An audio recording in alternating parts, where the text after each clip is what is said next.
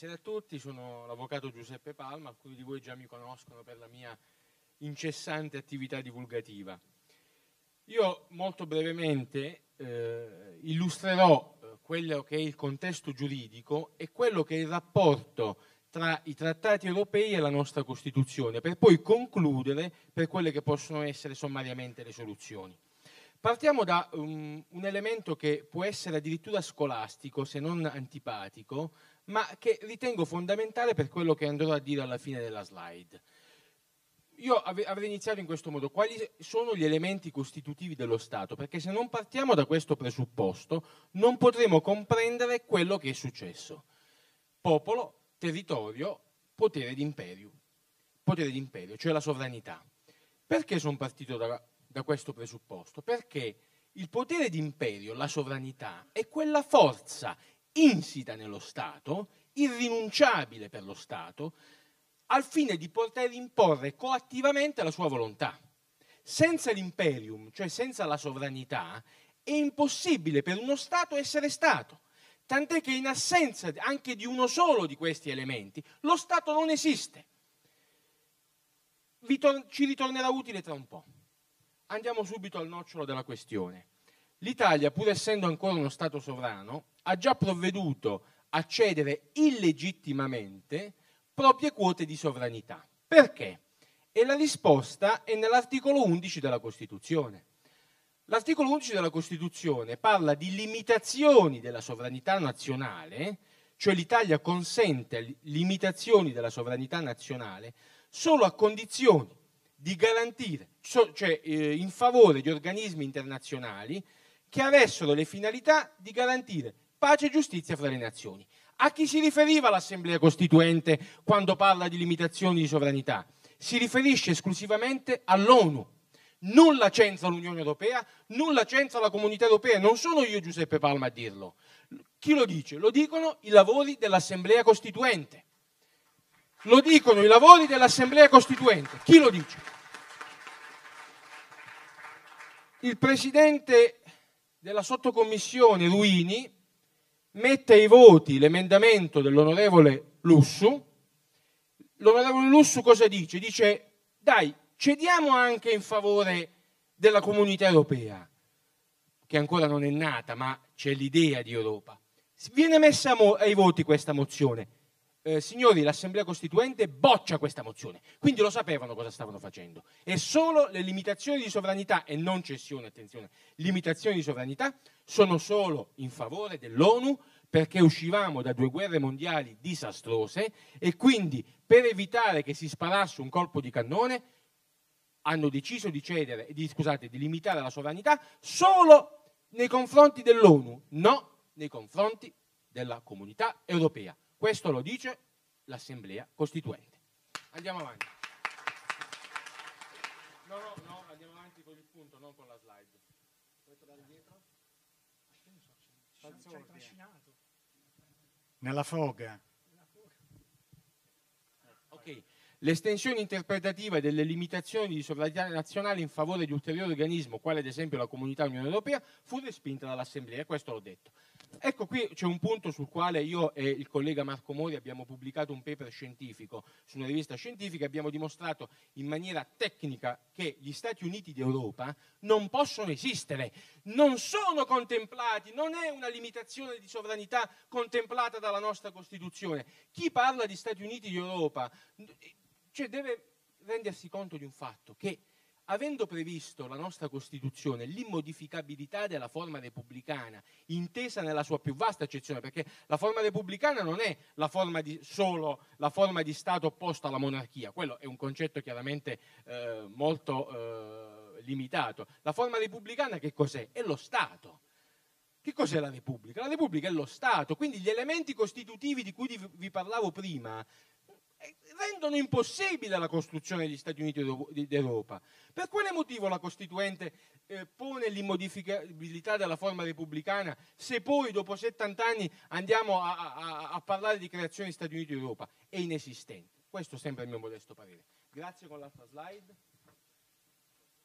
il riscatto della sovranità economica e monetaria e il ritorno alla situazione pregressa al divorzio Tesoro-Banca d'Italia avvenuto nell'81, che dieci anni dopo, per stessa ammissione di Andreatta, cosa succede? La Banca d'Italia, che quindi è banca centrale, smette di fare da prestatrice di ultima istanza sui titoli collocati dal Tesoro e quindi ecco perché poi ci siamo trovati negli anni Ottanta in quella situazione. Quindi questo è un primo punto. Secondo punto, e qui il presidente Baracaracciolo sicuramente eh, fa da maestro, i eh, principi fondamentali e i diritti inalienabili, come stabilito dalla Corte Costituzionale con due sentenze, una del 2014 e un'altra del 2007, fanno da diga, da barriera all'ingresso delle norme non solo del diritto internazionale, ma anche del diritto europeo.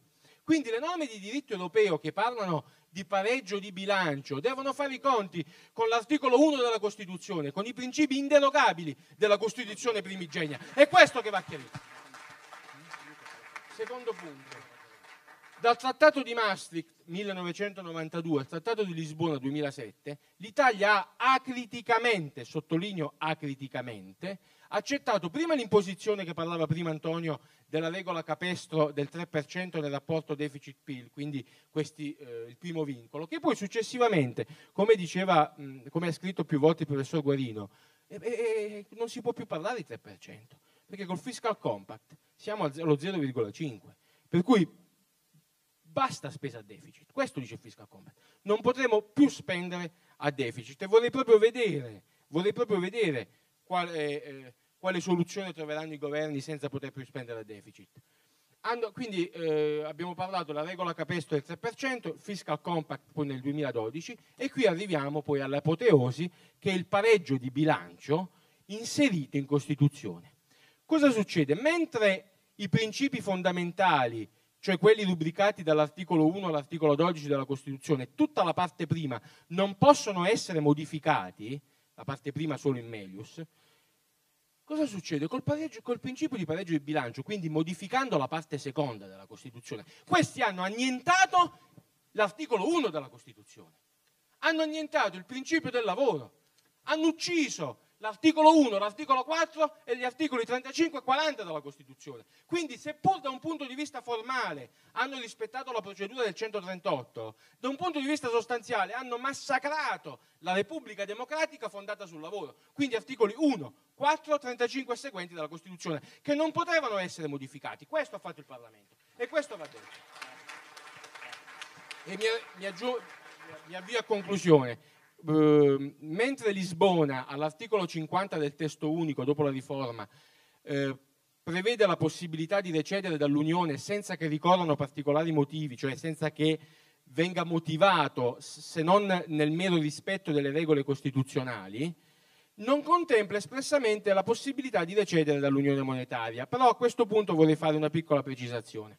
Gli articoli 139 e 140 del Trattato sul funzionamento dell'Unione Europea, quindi sempre dopo Lisbona, cosa prevedono? Mentre il 139 fa la differenza tra Stato la cui moneta è l'euro e Stati in deroga, cioè appartenenti all'Unione ma senza eh, l'euro, eh, bisogna capire questa, uh, questo concetto fondamentale. L'aver aderito all'euro era una manifestazione eh, del consenso, della volontà, che chiaramente ti avrebbe portato, secondo quelle che erano le interpretazioni di chi ha scritto il trattato, ad una condizione migliorativa. Per cui è impossibile pensare che chi ha manifestato il consenso non possa recedere dallo stesso consenso.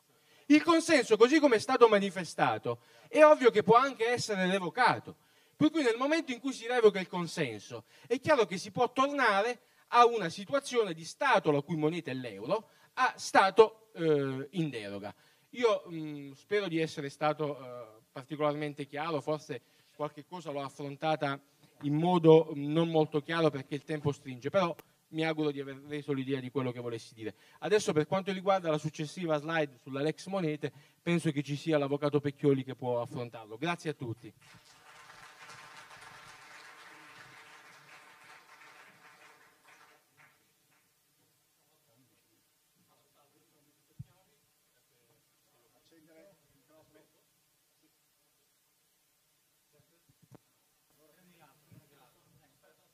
Adesso? Sì, ok. Allora, salve, io sono Luigi Pecchioli. Eh, diciamo, iniziamo a parlare un pochino più operativamente, adesso abbiamo visto diciamo, l'introduzione, e cominciamo a vedere qualche problematica che avverrebbe con l'uscita dall'euro. E soprattutto parliamo di Lex Monete perché sembra, eh, a sentire quello che dice eh, il governo e esponenti a maggioranza, che sia abbastanza sconosciuta in Italia. Per cui cerchiamo di capire che cos'è. La Lex Monete è un gruppo di norme che sono nel codice civile, eh, le quali eh, prevedono come si deve fare per pagare del, dei debiti, delle obbligazioni eh, pecuniarie nel momento in cui eh, una moneta esce eh, dalla, dalla, da, dallo Stato, diciamo dalla circolazione, non è più in circolazione nello Stato.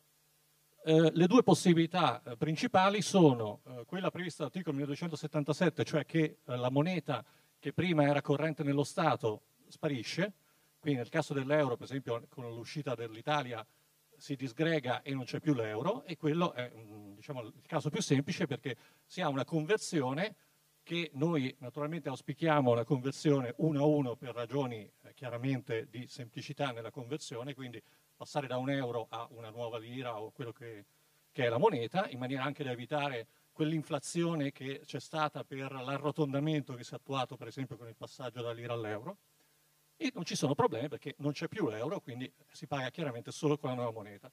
Qualche problema sorge invece con la previsione dell'articolo 1278, dove invece si prevede che la vecchia moneta sparisce diciamo, dal contesto interno, ma rimane come moneta da altre parti, quindi diventa una moneta estera.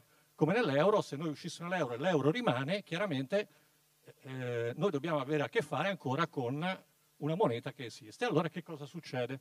L'articolo 978 dice che eh, spetta al debitore la facoltà di poter scegliere di pagare con eh, la nuova moneta e il creditore non si può opporre a questo, però dice eh, deve essere valutata se la scadenza è successiva al momento del cambio, del concambio, eh, è valutata al momento in cui scade il pagamento, il che significa che se per esempio la nuova lira si svalutasse, cosa molto probabile, secondo l'articolo 978 il pagamento successivo dovrebbe essere fatto con la quotazione al momento. Voi capite che questo potrebbe portare a un aggravamento del costo del, del debito, perché mi trovo a dover pagare con più lire per un euro perché la lira si è svalutata.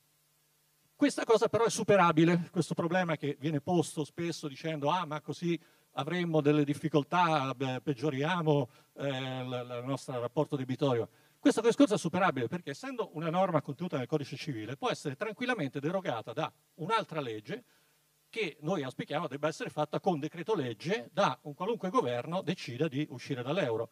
E un decreto legge semplicissimo, il quale dica tutti i eh, debiti di valuta, cioè quelli dove la legge non prevede la rivalutazione, quindi debiti normali monetari dove io devo una certa somma, eh, vanno pagati, naturalmente che sono sorti prima del concambio, vanno pagati se scadono successivamente con il valore del concambio. Cioè si elimina questo problema del rapporto con il valore al momento della scadenza, cosa assolutamente fattibile. Questo salva naturalmente tutta la situazione e permette di pagare diciamo, quello che è il valore facciale della, dell'obbligazione. Che cosa succede? Adesso vediamo semplicemente per quanto riguarda il debito pubblico, poi vedremo per discorsi privati più in là quando faremo altri discorsi. Il debito pubblico. Il debito pubblico è lo stesso discorso, cioè con la Lex Monete si converte il debito pubblico automaticamente, tutta l'emissione in legislazione nazionale, perché stiamo parlando di legislazione nazionale, si converte nella nuova valuta. Siccome il debito pubblico in legislazione nazionale è il 96% attualmente, abbiamo che il 96% del debito diventa eh, l'obbligazione da euro in nuova lira. E con questa deroga i pagamenti successivi, quindi le scadenze dei, vari titoli o le, le cedole, queste cose qui, vengono pagate al valore nominale, facciale e non rivalutati.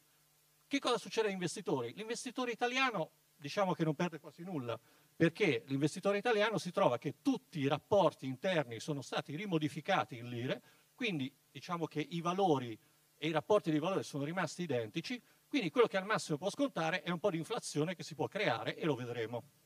Però fondamentalmente ha degli interessi e quindi questa inflazione viene in parte coperta da interessi, ma non perde molto.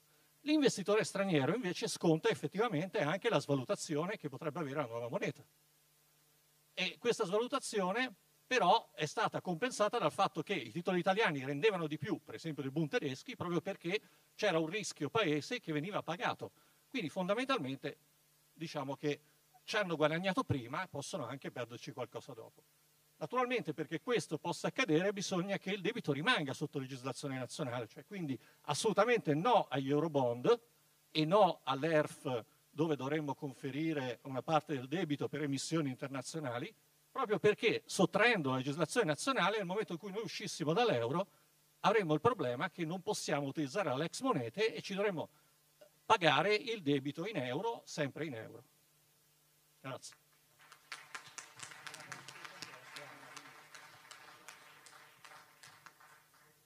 Buongiorno a tutti, mi chiamo Luca Mussati, eh, sono ingegnere, normalmente gli ingegneri recuperano i ritardi di quelli che sono venuti prima, quindi farò una cosa un po' più sintetica. Ecco.